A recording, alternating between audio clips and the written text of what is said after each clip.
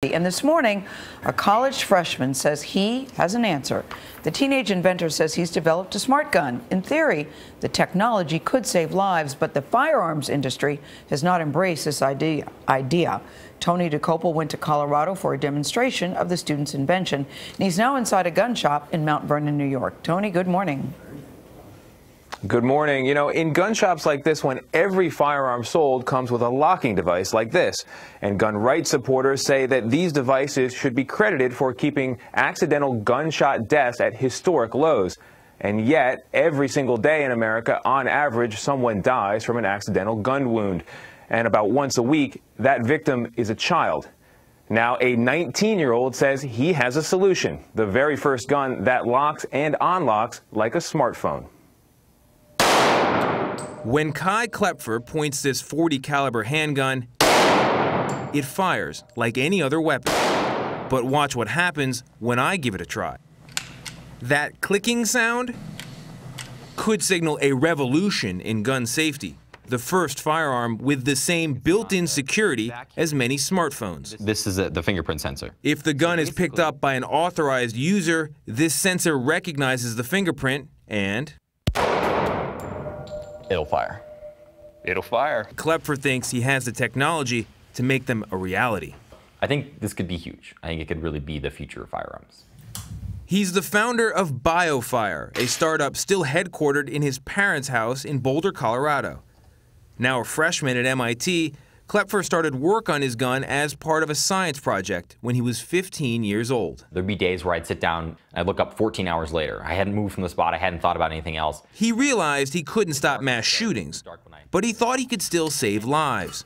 After all, in one year alone, nearly 600 people died in firearm accidents. There were thousands more suicides, many committed with guns that do not belong to the victim. Why did it take four and a half years to put a fingerprint reader on the side of a gun? well, it's, it's not as simple of a process as you might imagine. It's not really something anybody's ever done before. Kloepfer's weapon doesn't only lock like a smartphone, it charges like one. It's about as simple as it gets. And the invention has won him some deep pocketed allies. And Kai is the Mark Zuckerberg of guns. Ron Conway was an early investor in Google and Facebook. Now he's putting his money behind Kloepfer's smart gun. What Kai has done is used all of the latest technology available to us to innovate a truly authenticated gun. You couldn't do this five years ago. But a push for similar guns misfired memorably in the late 1990s. A Colt prototype failed in a major demonstration, and Smith & Wesson dropped its smart gun program after resulting boycotts nearly bankrupted the company. What has changed from then until now to make it possible to make a smart gun like the one you're working on? I would argue pretty much everything. Well, almost everything. Good intentions don't necessarily make good inventions. Stephen Sanetti is president of the National Shooting Sports Foundation, the main trade group for companies that make and sell guns. He expressed concern about the reliability of any firearm that depends on battery power. The firearm has to work, and a firearm is not the same as a cell phone. The consequences of a cell phone not working are inconvenience.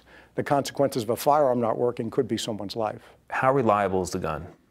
It's relatively reliable. Um, I know like when I'm using it, when I'm testing it, it functions almost every single time. Uh-oh. But not every time as we saw firsthand when Kloepfer's prototype, a modified Glock 22, failed. It's red. That's hot. That'll shoot. He shorted it. Still, he thinks an ultra-fast and reliable final weapon isn't far off. I'm now to the point where I'm able to you know, start raising money, building a team, sort of really transition this to a real company, a real startup, instead of just you know, a kid in his garage working on a science fair project. One of the big questions is whether traditional gun owners would ever consider buying a smart gun.